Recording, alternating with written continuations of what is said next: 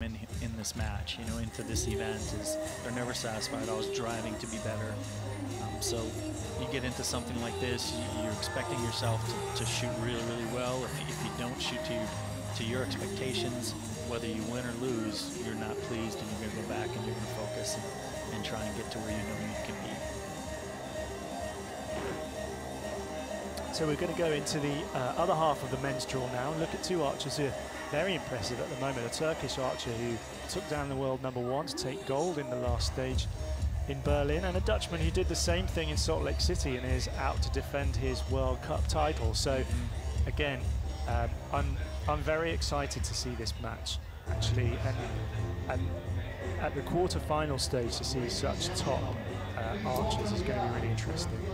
Yeah, and you know, when you look at Mikey Schloesser and you think, oh, you know, here's a veteran. Well, not really. He's still very young. Uh, so you got two young, up-and-coming guys that are going to be here for a long time, and uh, this should be a, fun match. Well, Schloesser at 23, actually younger than the Turkish archer, just taking the field of play here.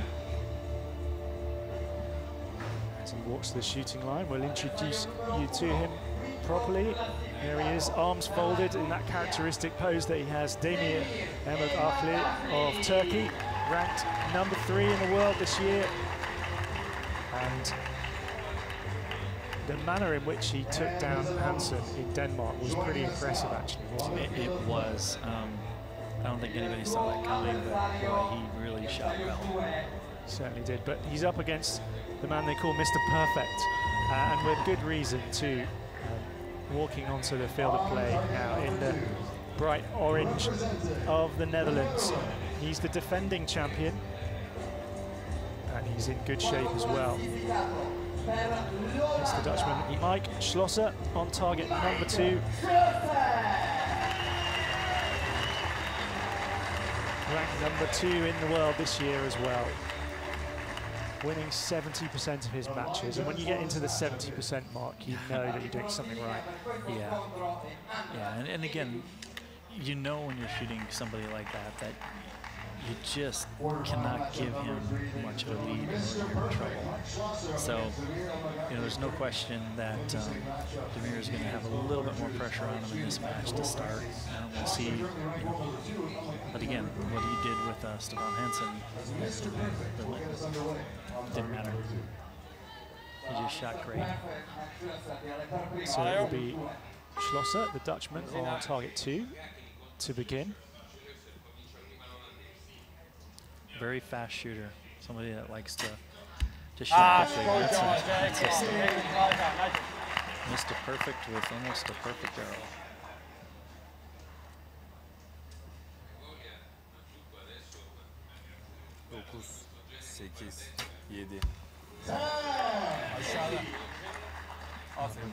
Not quite so near the center, but still a 10. That's all that matters.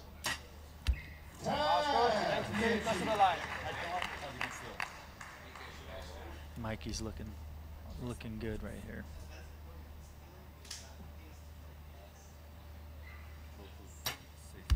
There we go, keeping pace.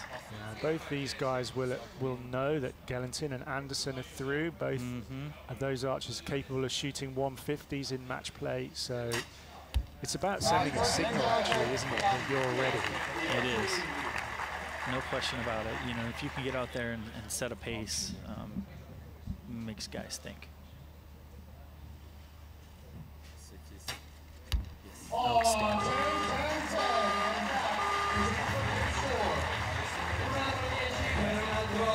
The crowd enjoying those first six arrows of the match.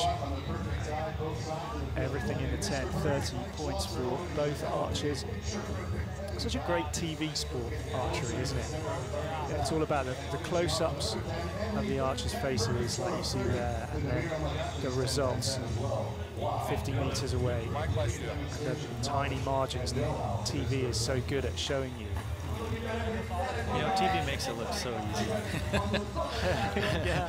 I guarantee you, um, they're feeling it. Their bodies are inside or moving. You know, the wind is there, and you see all of that on TV. But Uh, you know, you see that end arrow, and Mike Schloesser will shoot first on target two. boy, sometimes you get an earthquake in your body as you're aiming.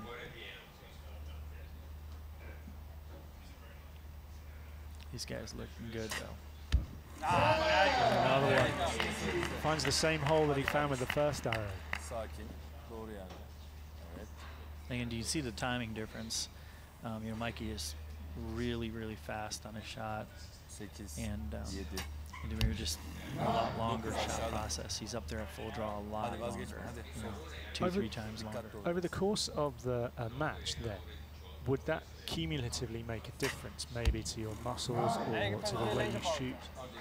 I I think so, and I think actually shooting fast, especially when you have breeze and you know when you've got some wind and stuff, really can help you.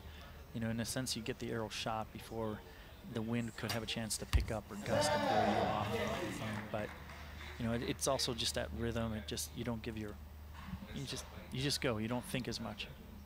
Um, sometimes at full draw, you think too much. Ooh, there's something that you don't expect from kardeşim. Mike. Bu fırsatı değerlendirin. Hadi dikkatli ol. Süren var daha. A bit of encouragement Yeah, here's a chance from for the coach Demir. at the back there.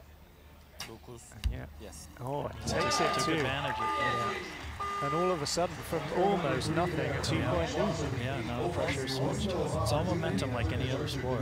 Momentum, um, it can definitely play on, on the nerves of your competitor. And take a commanding two-point lead. Mike Schloesser, the defending champion, so a, a title to protect creates its own narrative in your head, I'm sure. But what I'm interested with Elmaagacli is he he's been very, very close to winning the matches that he's lost this season. There hasn't been a point here or there or a shoot off here and there.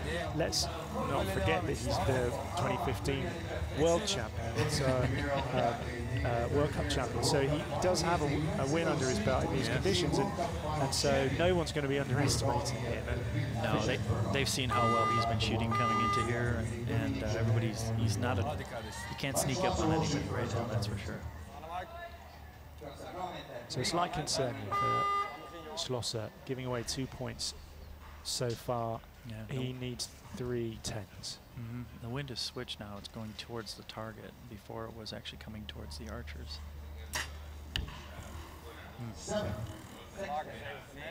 I'm sure the wind, you can see him kind of looking at his coach and trying to figure out what to do there. Evet. You can see uh, his, his bow moving a little bit more in the. Yeah, not suffering quite so much from that Üçüncü day. bak en çok No. sallanıyor. Gain two more points, that's quite big.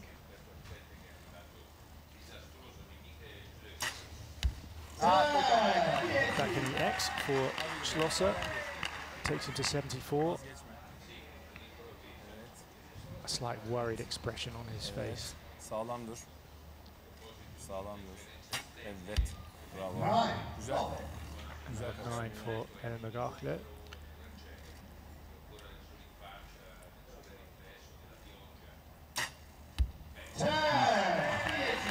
That's a good that's a good way to follow up your first arrow.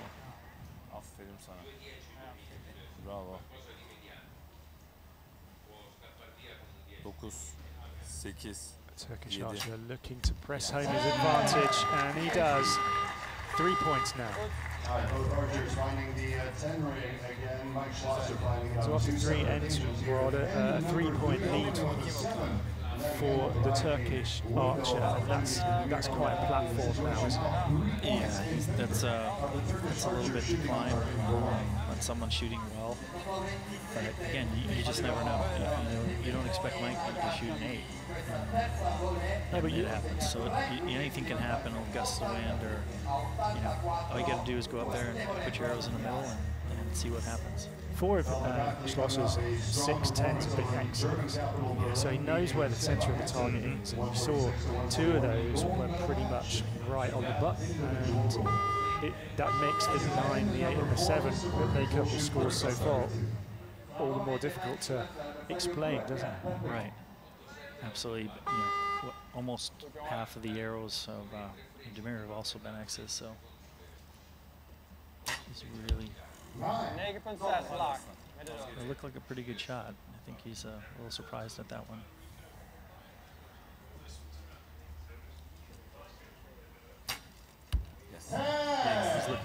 Yes. Looking comfortable comfortable right now. Aferin sana be. Looking Doesn't good. Like he's going to let up, does he? Yeah.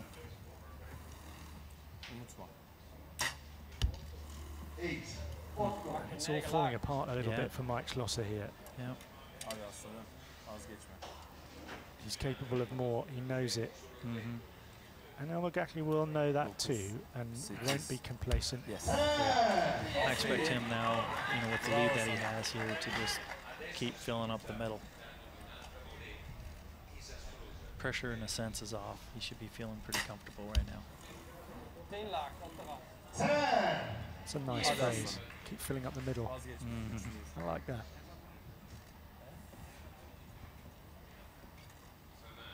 Dokuz. Nine. Just a nine with that one, but still five points now, and we're into the final end. Some values here. Demir Elmaagacli. Oh dear me, the defending champion in a, in a bit of trouble. Yes, he is. Uh, you know, five points, that's quite a hurdle. But, you know, anything can happen. But mm, Situation at the moment. I, I don't know if he's going to be able to overcome that. Mears is looking just comfortable, relaxed, making really nice, solid shots.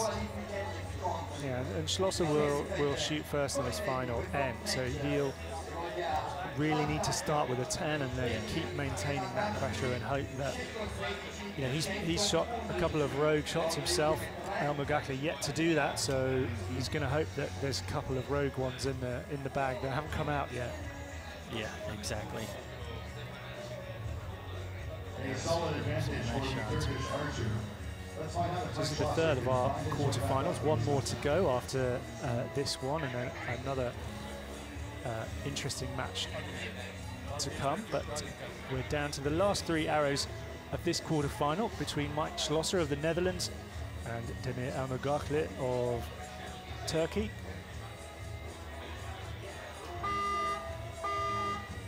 Mike Schloesser shoots first on target two. Mario? I mean, they came in here ranked, you know, four and five for this event, so it's not like it's a huge upset or anything, but um, you expected it to be a little bit tighter. Still might be.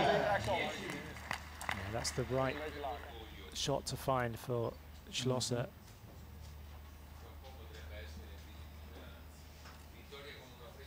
Dokuz. Güzel. Nine. Nine from Elmaagacli, so the leads Aşağıda Cut by a point. altı yönünde.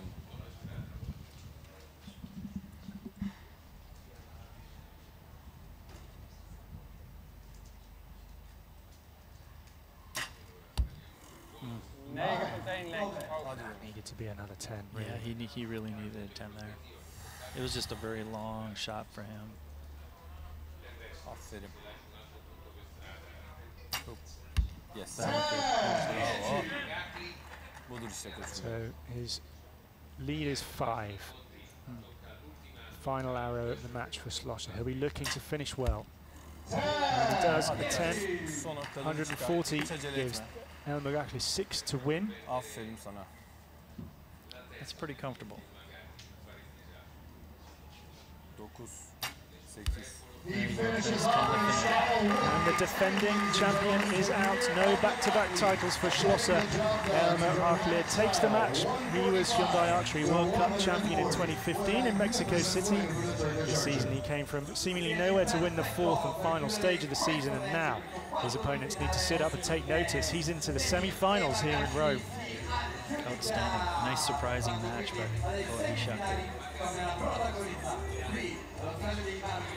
He looked real calm and relaxed that whole time. 26-year-old Turkish archer makes his way into the confident. semifinals of the World Cup final here in the Italian capital of Rome. Just so determined.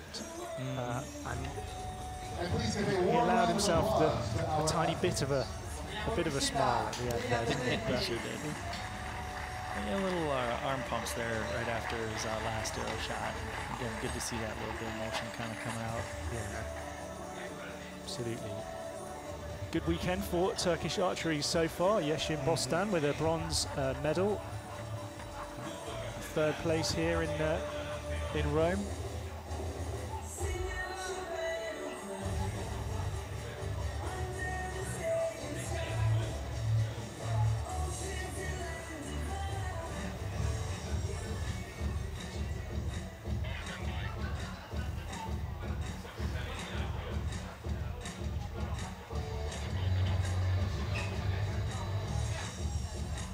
So still.